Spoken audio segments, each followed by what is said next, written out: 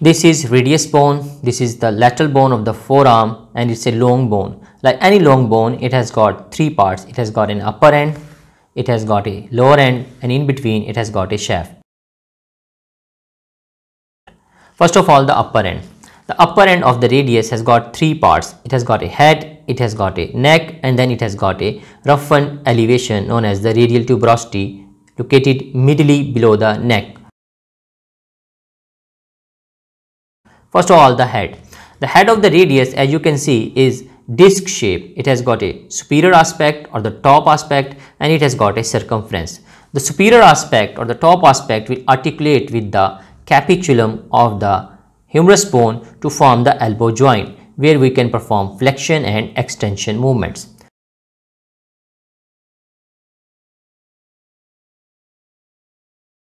The circumference, this circumference will participate in another joint. The other joint is the superior radioulnar joint, joint between proximal parts of the radius and the ulna bone. Here it will articulate. For articulation, ulna will provide a notch. This notch is for the radius bone, so this is known as the radial notch. So circumference of the head will articulate with, as you can see, circumference of the radial head articulates with the radial notch over the ulna to form supination and pronation.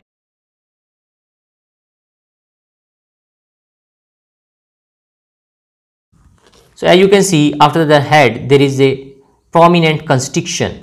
This constriction is known as the neck of the radial upper end. Below the neck midly we have got a roughened elevation. This roughened elevation is known as the radial tuberosity or the bicipital tuberosity.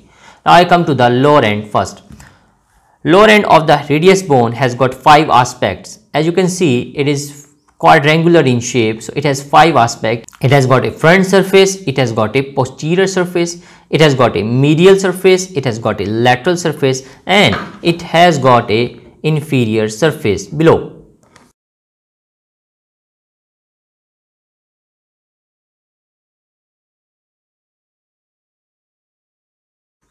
The front aspect of the radius lower end front surface is regular, is smooth. Against this surface, we palpate the radial artery. Posterior aspect, you can see posteriorly we have got larger tubercles. This is the identification of the posterior aspect of the radius lower end. The radius lower end posterior aspect has got these 3 to 4 tubercles in between the tendons of the extensor muscles will pass. Midly, mean towards ulna it has got a notch. Towards ulna it has got a notch known as the ulnar notch, a notch for ulna. Here the lower end of the ulna will articulate to produce supination and pronation and this joint is inferior radio-ulnar joint or distal radio-ulnar joint.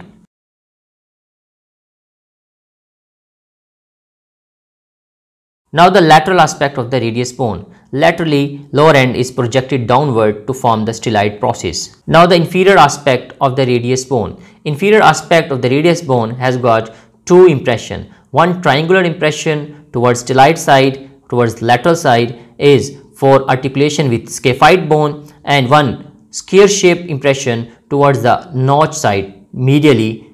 This square shape impression is for the articulation with the lunate bone. So scaphoid and lunate bone articulate with radius bone to form the wrist joint. There is no participation of ulna in the wrist joint.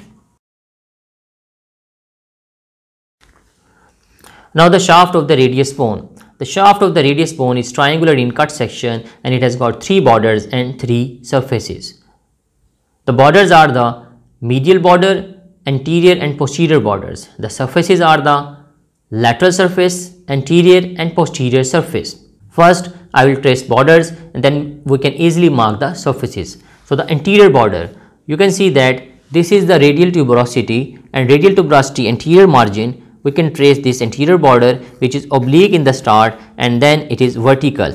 So, in the start it is oblique then it is vertical and we can trace it from the radial tuberosity anterior margin.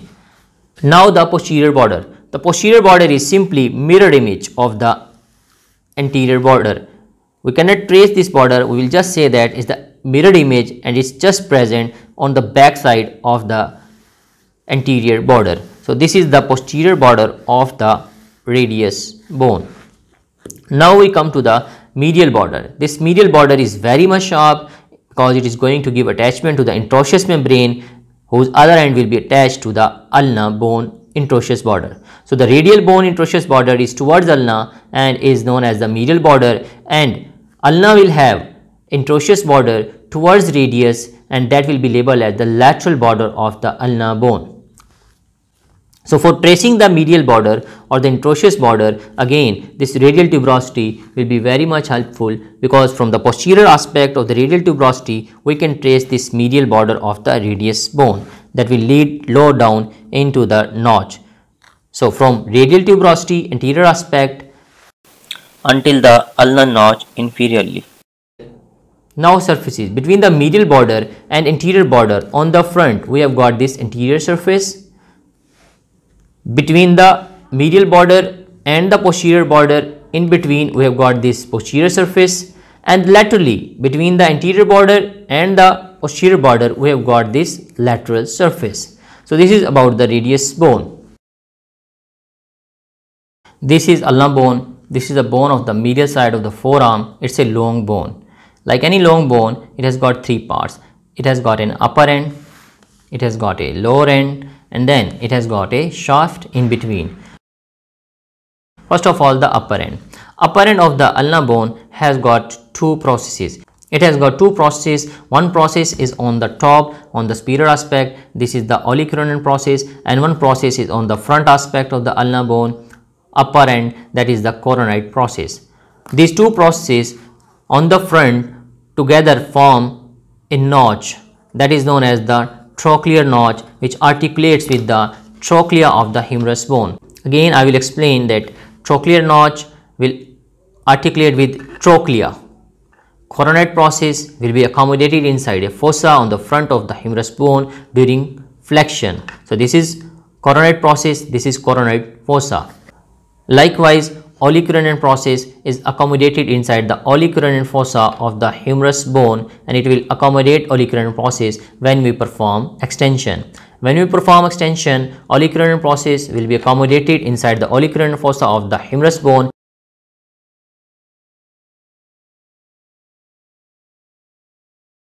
Olecranon process has got five aspects. It has got a superior aspect, it has got an anterior aspect, it has got a medial aspect, and it has got a lateral aspect and on the back it has got a posterior aspect. Now I will explain the important points.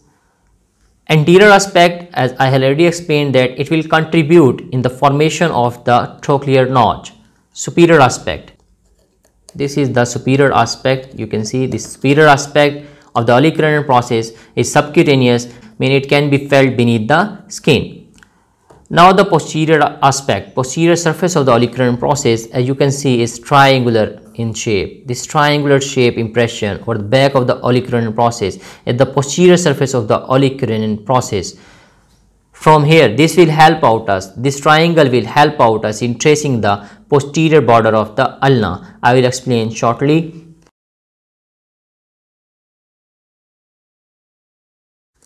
Now we come to the coronoid process. This coronoid process you can see that it is like helipad on a building. It will have a superior aspect, it will have an anterior aspect, it will have a medial aspect and it will have a lateral aspect. Superiorly, the superior aspect of the coronoid process contribute in the trochlear notch.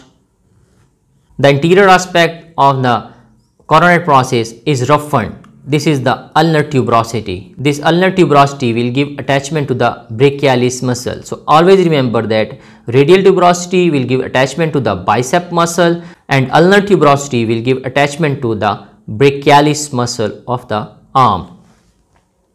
Now the lateral aspect of the coronoid process as you can see it has got a notch. This notch is for articulation with the circumference of the head of the radius not the top of the radius top of the radius is for articulation with the capitulum. The circumference of the head of the radius will articulate with the radial notch or the lateral aspect of the coronoid process to form the superior radioulnar joint where we perform supination and pronation.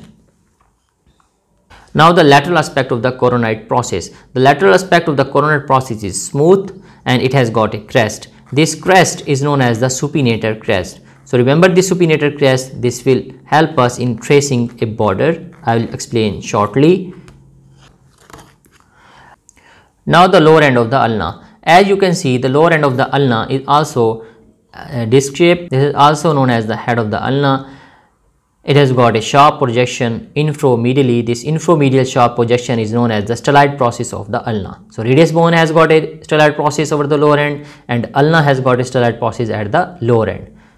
The lower end of the inferiorly the lower end of the ulna is separated from the wrist joint with the disc. So here a disc is placed and then this ulna will not participate in the wrist joint but this lower end of the ulna will articulate with the radius bone ulnar notch. Radius bone lower end has got an ulnar notch for accommodation of the lower end of the ulna. Here we will produce supination and pronation.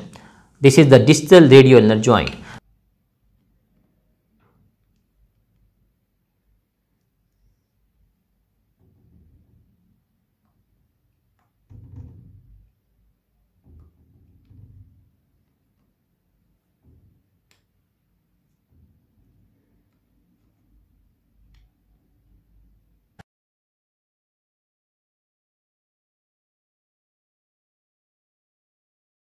Now the shaft of the ulna bone. Shaft of the ulna bone is triangular in cut section. It has got three borders and three surfaces. The borders are the lateral, anterior and posterior.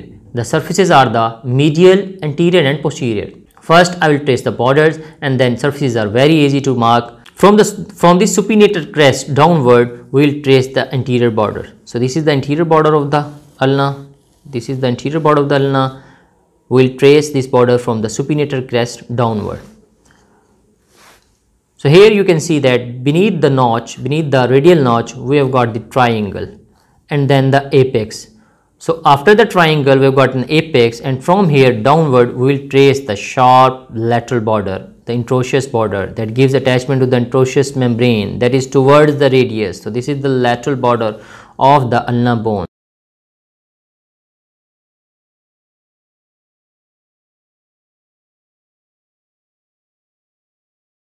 Now the posterior border of the ulna. This triangular surface over the back of the olecranon process, its apex which help us in tracing the posterior border because its apex downward easily marks the posterior border of the ulna bone. So here you can see that we have got the triangle over the back of the olecranon process. From triangle apex downward, will trace the posterior border. So I will repeat from the supinator crest downward, we will trace the anterior border.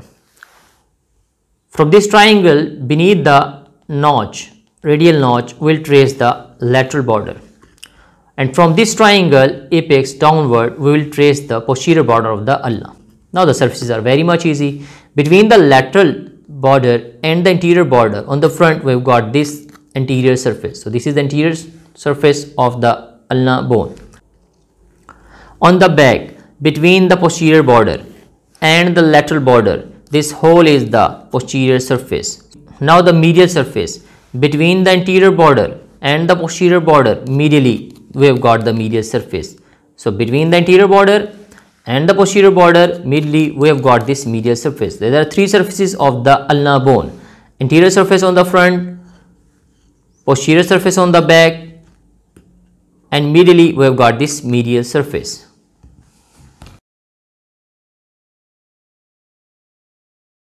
Now I will quickly repeat the reciprocal landmarks. At the upper end of the radius and the ulna, we have got the proximal or superior radioulnar joint. This joint is between circumference of the head of the radius and a notch, a radial notch over the ulna. So superiorly we have got radial notch and radius has got the head circumference. Now the inferior aspect you will note down reciprocal landmarks. At the lower end of the radius and ulna we have got the distal or inferior radioulnar joint. Here, radius will provide the notch. At the superior aspect, ulna has provided the notch. That was the radial notch. Here, radius will provide a notch for ulna. This is the ulnar notch over the lower end of the radius. Here, the lower end of the ulna will articulate to form the distal radioulnar joint. Lastly, the shaft of the radius and the ulna bone are also reciprocal. Their borders and surfaces are reciprocal. As you can see in the cut section, radius will have a medial border towards the ulna. Radius will have an interosseous border towards the ulna and ulna will have a lateral border or the interosseous border towards the radius. Against the medial border of the radius bone, against the interosseous border of the radius bone, we will have a surface that is the lateral surface of the radius bone. Against the lateral border of the ulna bone, we will have a medial surface. Against the interosseous border of the ulna bone, we will have a medial surface. Rest is same in both the bones. Both the bones has got anterior border, both the bone has got posterior border, both the bone has got the anterior surface, both the bones has got posterior surface. So always remember the odd one. The odd one is that the radial bone has got a medial border and a lateral surface and ulna bone has got a lateral border and a medial surface. For side determination, always remember a simple rule. You have to mention only three points. Now the side determination of the radius bone. For superior and inferior, we can easily say that this is the lower end of the radius bone. For anterior and posterior, we can easily mark that posteriorly the lower end has got tubercles. So we have determined the inferior aspect and the posterior aspect. For the lateral or the medial aspect, we can say that radius lower end has got a notch. This notch is the ulnar notch that is located medially. In this way, we will determine this bone belongs to right side or the left side.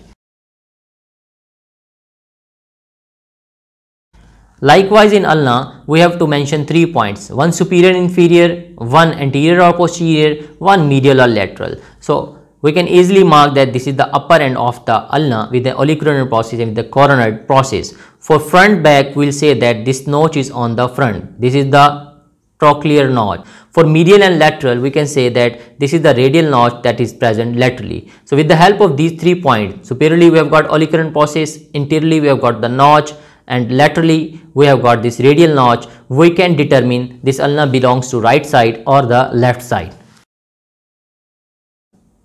So this is all about radius and ulna